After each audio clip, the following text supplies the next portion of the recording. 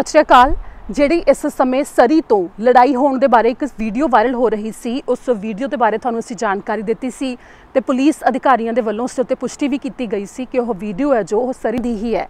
ਤੇ ਉਸ ਵੀਡੀਓ ਦੀ ਪੁਸ਼ਟੀ ਕਰਨ ਦੇ ਨਾਲ ਹੀ ਹੁਣ ਅਸੀਂ ਅਧਿਕਾਰੀਆਂ ਤੋਂ ਪੁੱਛਣ ਲਈ ਪਹੁੰਚੇ ਹਾਂ ਕਿ ਆਖਿਰ ਜਿਹੜੇ ਉਹ ਨੌਜਵਾਨ ਜ਼ਖਮੀ ਹਾਲਤ ਵਿੱਚ ਮੌਜੂਦ ਸਨ, ਉਹਨਾਂ ਵਿੱਚੋਂ ਇੱਕ ਦੀ ਹਾਲਤ ਨਾਜ਼ੁਕ ਵੀ ਬਣੀ ਹੋਈ ਸੀ।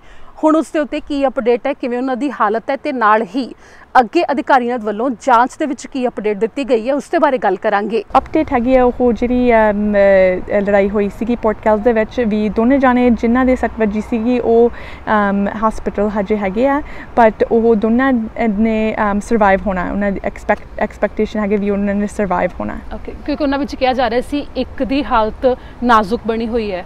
ਤਾਂ ਇੱਕ ਦੀ ਹਾਲਤ ਵੈਸੇ ਸੀਰੀਅਸ ਹੈ ਬਟ ਲਾਈਫ ਥ੍ਰੈਟਨਿੰਗ ਨਹੀਂ ਹੈ ਪਰ ਇੱਕ ਦੀ ਲਾਈਫ ਥ੍ਰੈਟਨਿੰਗ ਕਹੀ ਗਈ ਸੀ।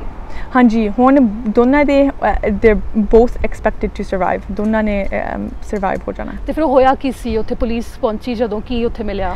ਹਾਂਜੀ ਸੋ ਇਹ ਕਿਉਂਕਿ ਇਹ investigation Surrey RCMP serious crime unit investigate ਕਰ ਰਹੀ ਹੈ ਤੇ ਇਹ ਸਟਿਲ ਆਨਗੋਇੰਗ ਆ।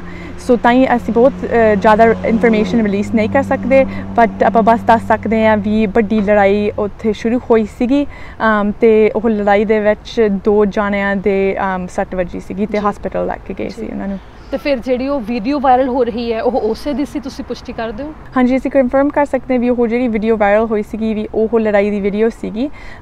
ਬਟ ਹੋਰ ਇਨਫੋਰਮੇਸ਼ਨ ਇਸ ਸਿਚੁਏਸ਼ਨ ਦੀ ਦੇ ਨਹੀਂ ਸਕਦੇ ਕਿਉਂਕਿ ਇਨਵੈਸਟੀਗੇਸ਼ਨ ਹੈਗੀ ਹੈ ਆਨਗੋਇੰਗ ਜਿਵੇਂ ਕਿ ਤੁਸੀਂ ਜਾਣਿਆ ਇਸ ਸਮੇਂ ਜੋ ਇਹ ਸਰੀ ਦੇ ਵਿੱਚ ਨੌਜਵਾਨਾਂ ਦੀ ਲੜਾਈ ਹੋਈ ਇਸ ਦੇ ਬਾਰੇ ਇਹ ਅਪਡੇਟ ਦਿੱਤੀ ਗਈ ਹੈ। ਇਸ ਦੇ ਉੱਤੇ ਜੇਕਰ ਅੱਗੇ ਤੋਂ ਹੋਰ ਕੋਈ ਅਪਡੇਟ ਸਾਹਮਣੇ ਆਉਂਦੀ ਹੈ ਤਾਂ ਅਸੀਂ ਤੁਹਾਨੂੰ ਨਾਲ ਦੀ ਨਾਲ ਪਹੁੰਚਾਵਾਂਗੇ।